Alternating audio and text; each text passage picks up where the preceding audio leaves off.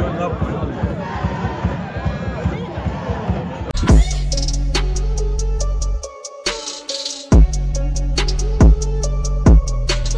I zdravo svima ljudi, dobro došli u novi video. Danas repertoaru nova utakmica Slobode. Sloboda igra protiv Zrinskog iz Mostara. Ekipa koja je trenutno, mislim, prva na tabeli. Ekipa koja, logično, zadnjih već deseta godina igra fenomenalno. Jedna od najboljih ekipa u cijeloj Bosni i Hercegovini, naravno. Lijepo vrijeme, lijep povod za doći na Tušanj. Vidjet ćemo koliki će broj ljudi biti na stadionu. Nije niko motivisan da dođe na utakmicu, nažalost, loši rezultati, loš niz rezultata koliko više poraza za redom, ne znam, nija možda 5-6, ako ne i više, katastrofa, eto i dalje se nastavlja, ali bože moj, nama je da gledamo da bude bolji. Ništa, ostavite like, share i subscribe, zatvrte moj Instagram. Što se tiče predikcije, da li da je nekako, ne znam, a ja bio zadovoljan da ih ne puknu previše, ajde bude 2-1 za Zrinski, eto, to je to. Zajem, Pa hajde. 3-1 Zrinski. 3-1 Zrinski. Što ste tako pesimistični? 1-1. Jebote. 3-0 za slobodu. Ništa, idemo znači polako prema tušnju i to je to. Već ja mislim, koliko je sati? 3... 3-15. 3.15 nekako već iz utakmice utakmice se više kasnimo, nadam se da će biti mjesta iza nas pa ćemo vidjeti. Idemo polako prema tušnju.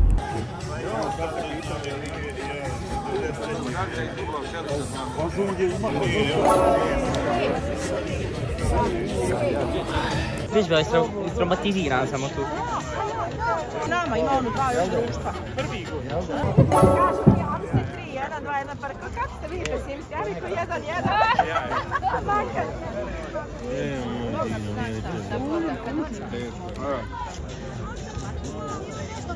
Nisam dugo vidio. Sad na tebe mislio. Osam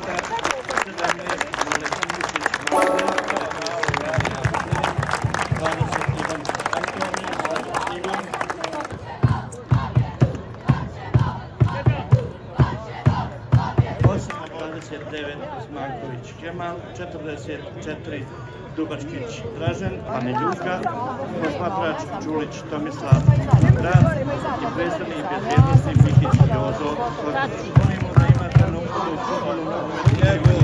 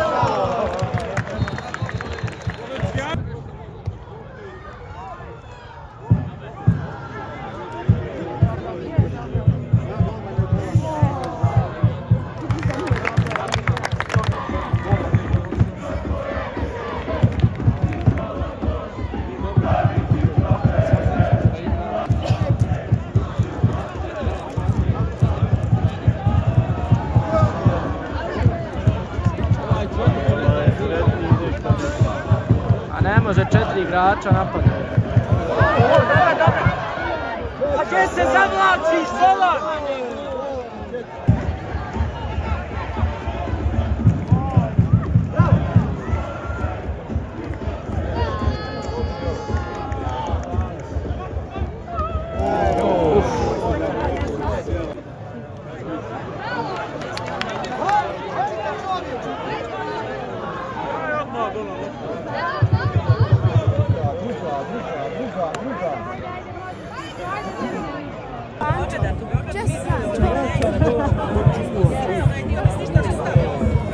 Jo!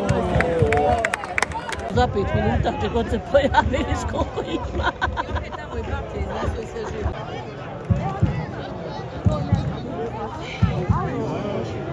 Ja nigdje nisam vidio.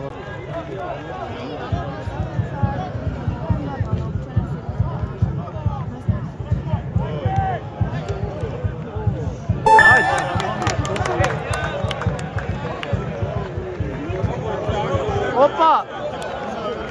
Gdje si nani? 16. Kada je Nani evo uradio ga. Sol, Evo ga, samo tisnu i napravi si prolaz zašto.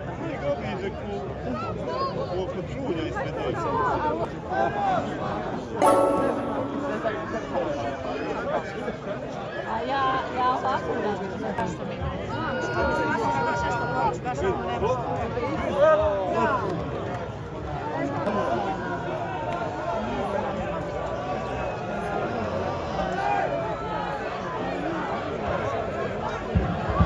Pa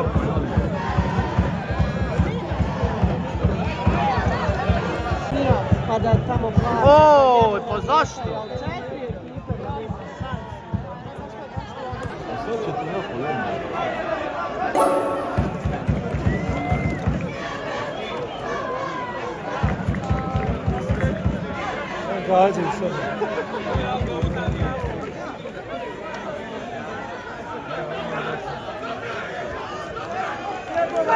Četiri ekipe da ima šanse. Drugi karton Zakon Slobode sa brojem 77, Gorić Emilija.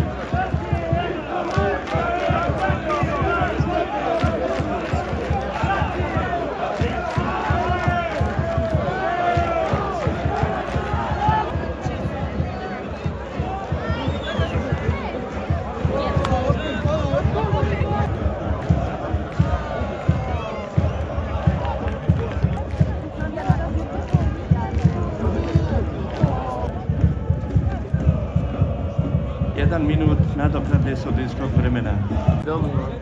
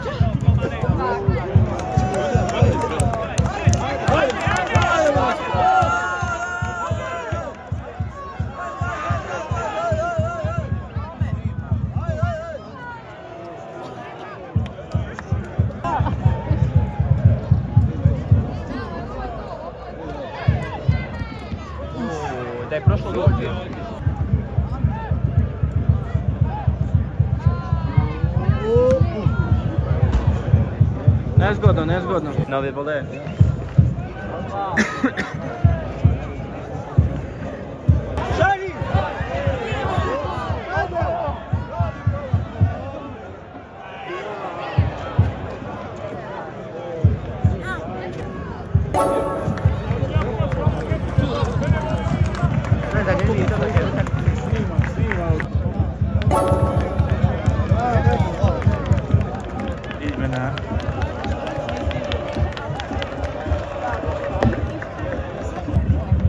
21 Dżafić Adnan i 23 Komija Takeru.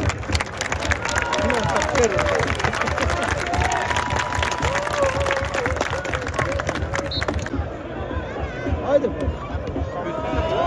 Ya işe yarar. Sürekli.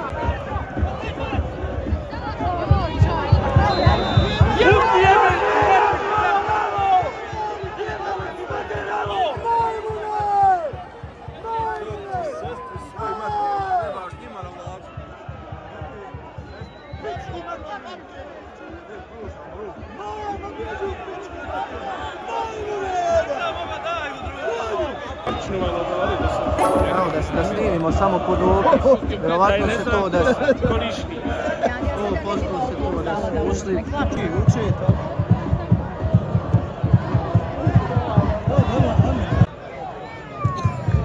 Majke mili, da pade penal bi bio.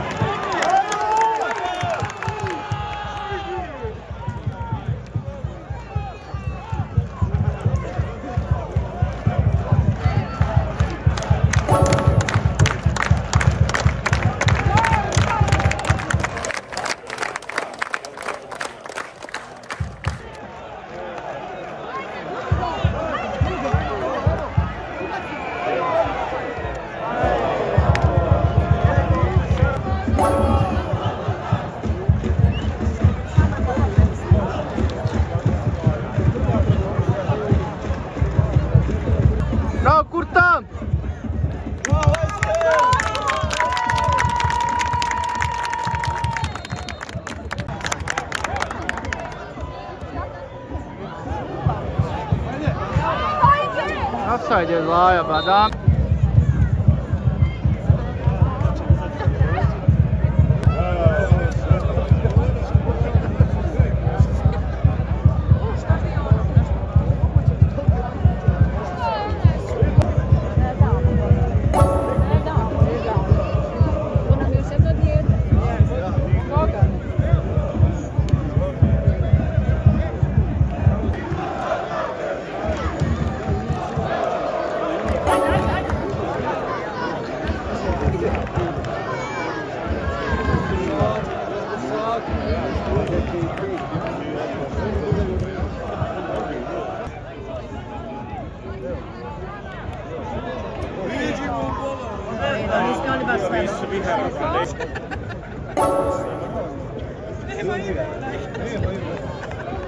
Izmjena u ekipi Zrinskog. Ste igra sa brojem 6 Čorluka Josip. Igra sa brojem 11 Mula Huseinović Nadil. U igru ulazi igra sa brojem 19 Memija Kerim. Igra sa brojem 99 Bilbija Nemanja. Arner,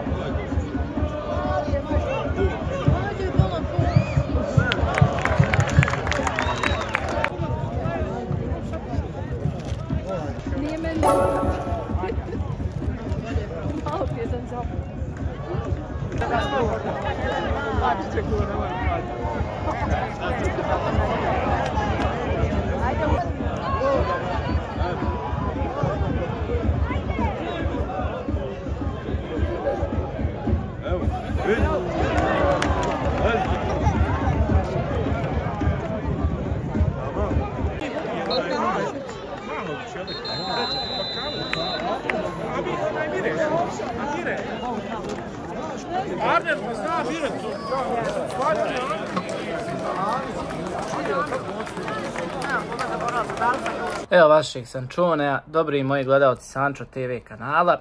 Nešto sam skroz hasta, isto ko da ću se razbolt. Totalno nešto sam premoren, glava me boli.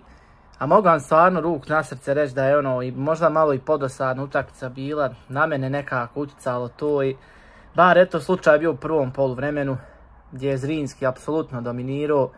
Drugo poluvrijeme Sloboda se malo probudila.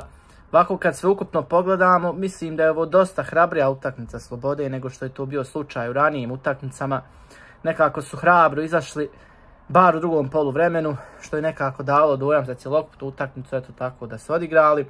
Zrinski je definitivno bolja ekipa, imali su dosta više šansi, ovaj, više su prijetili, nekako su brže i lakše dolazili do lopti i dosta su igrači Slobode gubili lako loptu. Čajić prvi koji eto par nekih, iako- nekako baš je odigrao vruće hladno, eto baš na njega ću se osvrnuti jer ono nekako je više djelovo on koji igrač koji kreirao igru, barem ovaj kod Slobode i dosta je nekako i gubio loptu i dosta je rizikovo s loptom i u nekim čak situacijama to se isplatilo.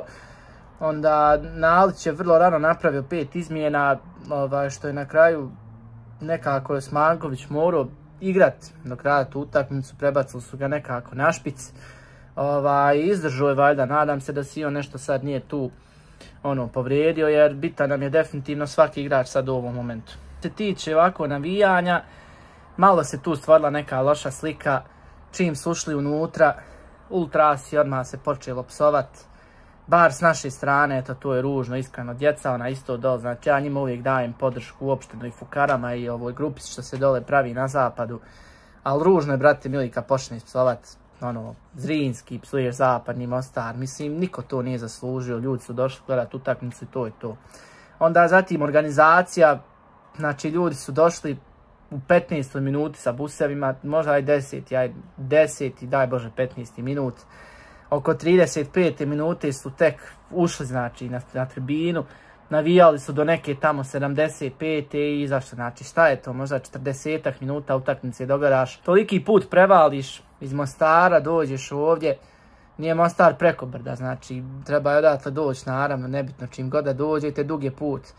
Toliko dođeš na kraj da gledaš samo tih 40 minuta svoju ekipu za koju navijaš i mislim to je bez veze iskreno, baš je nekako glupost, ali eto, da je bilo neki sad nereda, ne vjerujem, više je nekako bilo s naše strane tu nekih porukica koji se nisu trebale slat. Isto tako, djeci su poderali baner, ja sam prvo mislio da nisu možda sa zapadnog dijela tamo, tačnije s desne strane zapada gdje su bili gostujući navijači, da nisu neka djeca izašla odatle i ušla vamo na tribinu i uzela baner i uzeli su baner, jednostavno poderali su baner djeci i bilo mi ih nekako i žao. No. I izgleda da su to djeca neka da li istuzli, ne, vjerujem da, da su to članovi Fukara, da, da su članovi Podmatka, ali ako jesu stvarno, to je jedan ružan, ružan prikaz na tribinama što se toga tiče i neki članovi koji su upravo ovako tu glavni u Fukarama i oni su nekad tako ono, navijali na zapad dok sjever nije bio izgrađen. Odnekle se nekako krenulo i baš je ružno kad vidite ovaj, da dođu naša djeca i deru našoj djeci ovaj, banere. Mislim da je tu trebao neko reagovati po tom pitanju. I ovaj, baš je ružno, eto to mi je nekako bar ružna slika ostavljena i stvarno mi je žao na kraju ispalo za njih i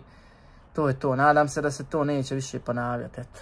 I ovaj, što se tiče ovako cjelokupno, hajde utakmice, a Sloboda je odigrala kako je odigrala i to je to, jednostavno više, igrali su dosta hrabrije nego što je do sad bio slučaj, malo su čak u pojedinim momentima i digli publiku, ovaj, nekako smo možda i više zaslužili bod ovoj utakmici nego što smo bilo koju. Mislim, ovako kad pogledamo sve ukupno, ne kažem ja stvarno, Zrinski je stroj, Zrinski je odigrao, Zrinski je malo te ne možda i odigrao koliko njima dovoljno, znači na jedan gol da je Sloboda kojim slučajem dala, mislim da bi se oni potrudili, zabili bi vrlo lako, možda i drugi, ne znam, eto takav je men dojam, ostao i to je to. Ništa, sljedeća utakmica Sarajevo kod kuće, za nekih eto 7 dana sljedeći vikend. Nadam se da će biti eto i tu još dosta bolja igra, barem u nekom slučaju naspram danas. Počeli su nešto ko igrat, kreirat. Vidi se opet Nalčevo djelo vratio i par tih igrača koji su blirirali kod njega u prvoj ligi federacije kao što su Dervišagić, Kurta, Kurta je bio kapiten. I eto, to je to. Zanadat se bolje i ništa drugo nam preostane. Hvala što ste gledali ovaj video. Ostavite like, share i subscribe, zapratite moj Instagram. Mi se vidimo u nekoj sljedećoj futbalskoj sportskoj avanturi. I, čao!